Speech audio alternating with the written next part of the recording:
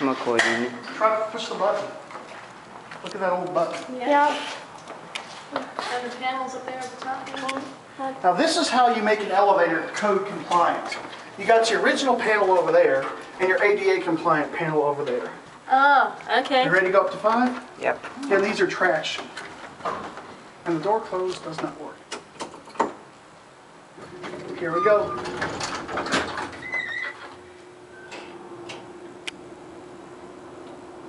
Now the panel on the right, on the left is considered ADA compliant? Yeah, it's because it's low enough. Oh, yeah, for somebody in a wheelchair, access them. Yeah. Button already went out.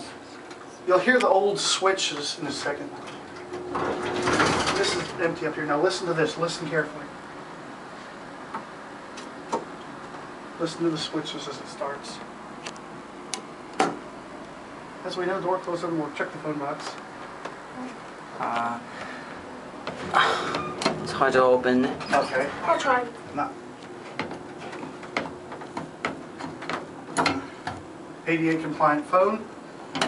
Here's Andrew and William. Watch the button go out. There it goes. Dominion. These run incredible. If y'all want to go on another ride, you're more than welcome to. Yeah. Yeah. Or if y'all want to try the other elevator too. Send this one out. And here's the other one. Waiting here. It's got a burnout light bulb. Yeah. Now, who makes these ones? These are Dominion. These fixtures are made by oh. GAL. Now listen to this motor. These are 300 feet per minute. That sounds like a pretty good rate.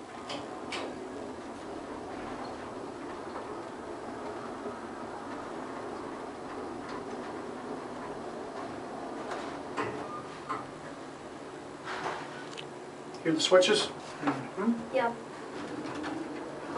We're back to five, and who wants to step down the lobby? They both did at the same time. That's a Dover capacity plate, by the way, over there. See? I'm willing to bet that these are Dovers. The capacity 2,500 pound plate, that's a Dover.